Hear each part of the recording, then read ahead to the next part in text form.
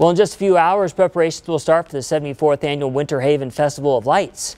Tucson Electric Power Crews will be decorating the tall trees in the Winterhaven neighborhood around 9 a.m. and you're more than welcome to stop by. Special event kicks off this Saturday with some of the most festive holiday light displays in the city.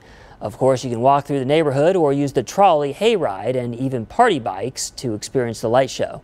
The event is sponsored by TEP and while it is free, they ask that you bring food or money donation for the Community Food Bank of Southern Arizona.